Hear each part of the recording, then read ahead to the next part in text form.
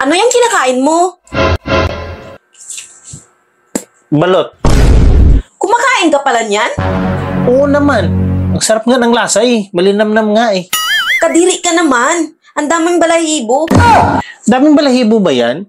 Ay, tingnan mo. Ay, oo nga, ang daming balahibo.